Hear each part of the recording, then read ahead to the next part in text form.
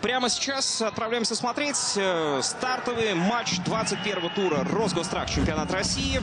Анжи против Урала были среди футболистов. А пока последим, как Анжи пытается атаковать сходу через правый фланг. Подача опасна. И, пожалуйста, удар в падении через себя прямо сейчас э, исполняет Александр Прудников. Паршевляком.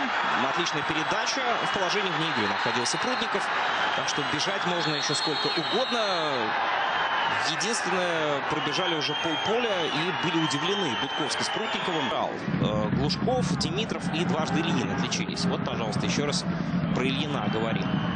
Опасный момент и едва мяч не пересекает ленточку ворот. Э, Отличный шанс э, упускает сейчас тот самый Ильин.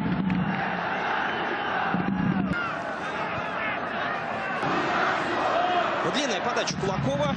А, Лунгу подбирает мяч. Еще одна подача. И вот, пожалуйста, момент и гол. Это Ильин. Вот так вот, пожалуйста, Владимир Ильин забивает мяч в ворота Анжи. И делает это ударом головой. Ну, посмотрим. Опасно! Жиров! Не стал бить поворотом, тем более там выскочил соперник. И вот после этого Жиров улучшил позицию для себя и сумел пробить из-под Емельянова. Но Жиров, как и в матче против московского «Спартака», опять же, лишенный навыков атакующего игрока, потратил чуть больше времени. Балажец достаточно высоко играет по Гудковскому. И вот в эту же зону пытается вбежать сейчас игрок Анжи. Удар по воротам. Ну, молодцы, растащили защиту сейчас махачкалинца соперника. Выдернули Балажица, и Новиков был вынужден играть с Хубуловым. Добрать мяч э, под собственный контроль, побольше им владеть. Мы помним его полуподачу, полуудар в первом тайме. Заброс, Фибел, здорово, скидка, забивать нужно 1-1. Александр Прудников, по-моему, находит своего тренера. У которого он будет забивать не один гол в году.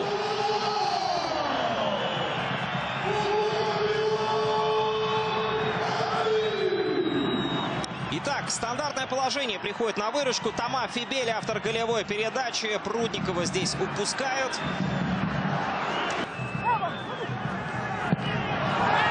Ну, это захват, это желтая карточка. Должна быть отложенная. Но Прудников быстренько подсуетился. Анжи полетел вперед. Свободен край. Не видит никого. Будковский все равно забивает. Все-таки даже не Будковский.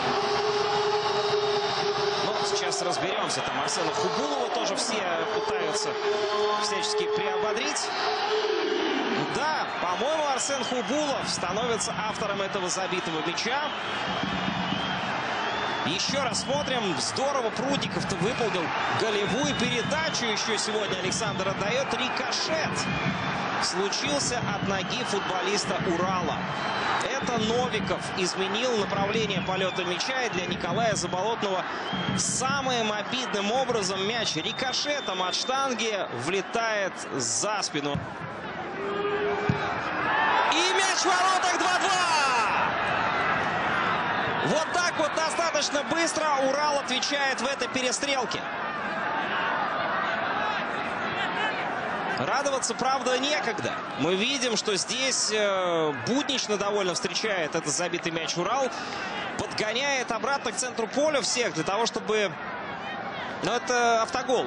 60 минут играет э, прилично, а потом устает, элементарно устает. Очень много скоростной работы выполняет, особенно на первых минутах.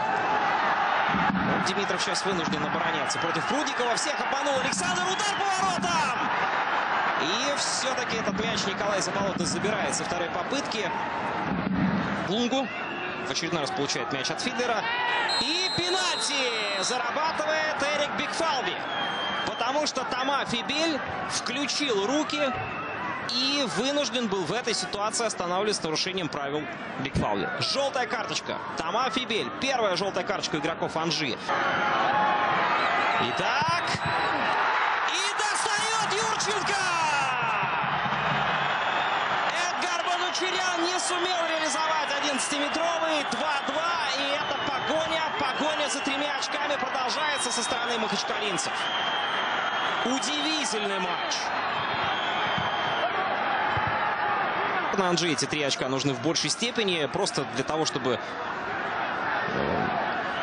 самоукрепиться с новым главным тренером в этом новом проекте. А Урал на этом, конечно, соперника ловит на этих амбициях. И по-прежнему лезет вперед и забивает! 3-2! Но переживать игрокам Анжи, здесь стучать э, газон нет никакого смысла. Момент истины в этом матче. Подача Яковлева на выходе Заболотный. Великолепно играет э, рукой на выходе. И 2 Победа Урала в этом фантастическом матче, который мог сложиться абсолютно по-разному.